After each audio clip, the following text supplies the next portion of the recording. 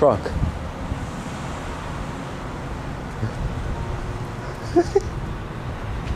Those are my fans over here. Tell me what.